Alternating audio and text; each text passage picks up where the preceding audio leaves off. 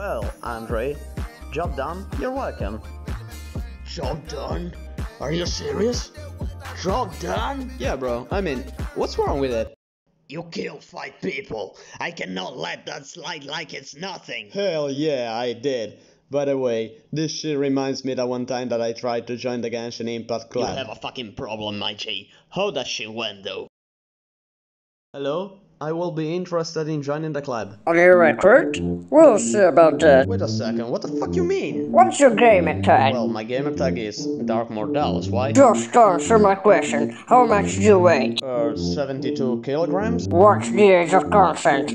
Well, it's 18. Bruh, get your fucking ass out of here. Whoa, whoa, whoa, whoa, whoa, whoa, whoa. Wait a second, wait a second. What did I do, bro? I say get out of my sight. Ah, fine. Up, I will be interested in joining the club. What's your gamer tag?